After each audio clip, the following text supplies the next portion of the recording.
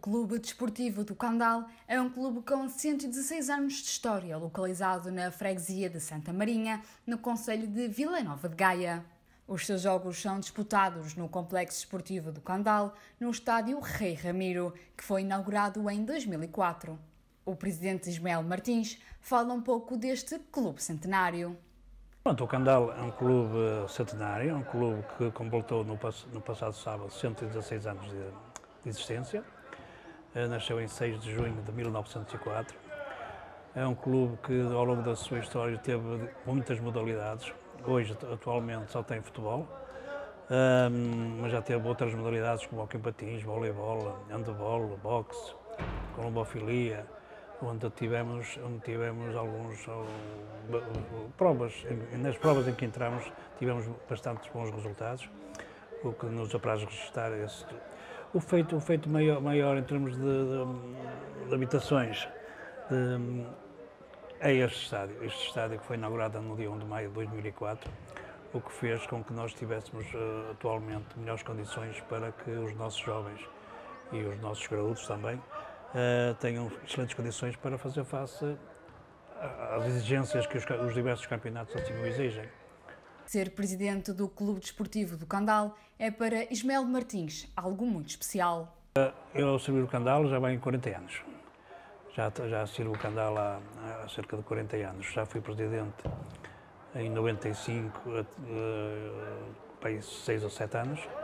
E, um, e agora voltei, voltei há cerca de 3 anos, uh, a pedido de alguns associados, um, para tentarmos levantar o clube que estava mesmo numa situação caótica em termos financeiros. Para mim é um orgulho.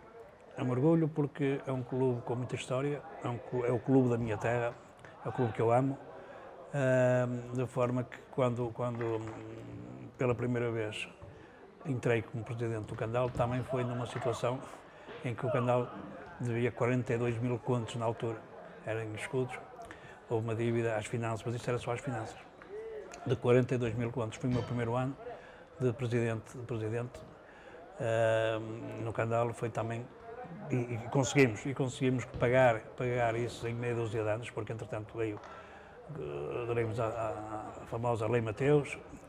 Uh, entretanto depois as finanças se nós pagássemos uma verba uma verba um, significativa até o dia 31 de dezembro de era 2000 e qualquer coisa que agora não me recordo perdoavam-nos os juros e pronto, e assim fizemos, juntamente, juntamente com, na altura era outro presidente, mas eu fazia parte também da direção, uh, e conseguimos também pagar essa dívida. Da forma que, pronto, é o amor, é o amor ao clube, é o amor ao clube que, nos, que, nos faz, que me faz a mim estar aqui, estar aqui e com muito sacrifício, muito honestamente, com muito sacrifício, muitas dores de cabeça, porque gerir um clube destes não é fácil. Este clube uh, exige, exige mensalmente muito dinheiro, é certo que pronto, temos o apoio, o apoio da Câmara Municipal de Vila de Gaia, que tem sido muito importante. Sem, sem esse apoio, com certeza que o canal se calhar não teria, não teria uh, formas de, de, conseguir transpor as, as, grandes dificuldades que tem tido.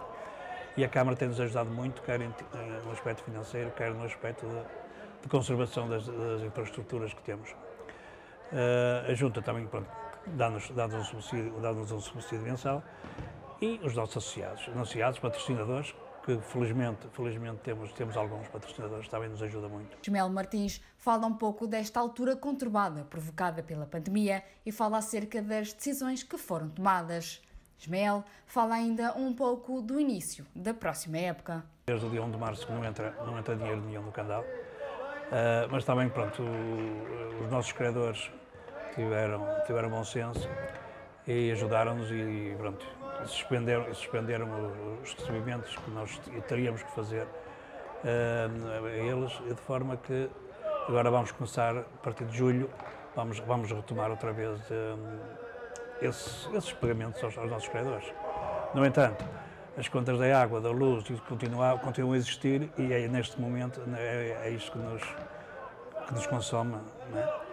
é, que nos preocupa bastante, é esta dívida agora que temos, temos com, quer com as águas, quer com, um, com a eletricidade, porque não há dinheiro. Neste momento não há, não há, não há formas de ir buscar dinheiro a lado nenhum, só quando começar, começarem os treinos dos nossos, dos nossos meninos uh, que espero que seja breve. Estamos a, estamos a tentar reunir as condições necessárias uh, exigidas pela DGS e pela Associação de Futebol do Porto. Termos esportivos, acho que a Associação de Futebol do Porto, que é a associação que nos rege, acho que tomaram, tomaram as, as decisões corretas, corretíssimas. Não, não iríamos estar a pôr em, risco o que quer que seja, de forma que a decisão correta de não haver descidas, de, de subirem, subirem os clubes que estavam melhor, melhor posicionados para, para que isso acontecesse, foi o caso do Candal, que estava em primeiro lugar.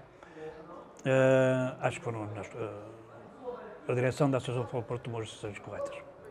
E clubes que se apetrecharam muito, muito. Nós, nós vamos tentar, tentar manter-nos, tentar uh, conseguir a manutenção o mais rápido possível. Vamos jogar jogo a jogo, confio, confio na, na, na equipa técnica, bem liderada por, por Madureira, bem assim como a qualidade dos jogadores que temos, o grupo de trabalho que é excelente e unido, um grupo muito unido e consistente. E consistente. isso deu uma grande amostra, foi agora que ficaram, o plantel ficou quase todo novamente no clube. No final da entrevista, o presidente Ismael Martins deixa uma palavra a todos aqueles que fazem parte do Clube Desportivo do Candal. Agradecer a todos os atletas que decidiram continuar a representar o nosso clube, pela fidelidade que demonstraram ao nosso clube. Uh, meu muito obrigado a todos eles. Agradecer também aos técnicos, aos técnicos também, também vão continuar do nosso lado.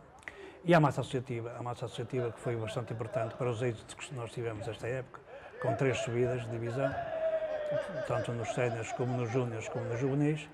Uh, foi muito importante o apoio deles, o apoio deles e espero que na próxima época possa contar com, novamente com o apoio deles, porque o canal tem uma massa associativa bastante, bastante forte, bastante unida e que vibra e que vibra com os resultados do, das nossas equipas. Por isso, grande parte do êxito foi também a eles se deve.